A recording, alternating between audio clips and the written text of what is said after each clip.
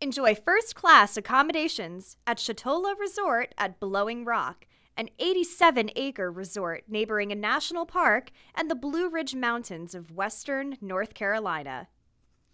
This breathtaking resort offers magnificent nature views, as well as spacious guest rooms and condos featuring charming luxury, complete with comfortable beds and TVs.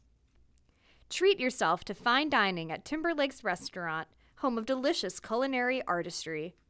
Discover the spa, health and wellness programs, and the many opportunities for recreation.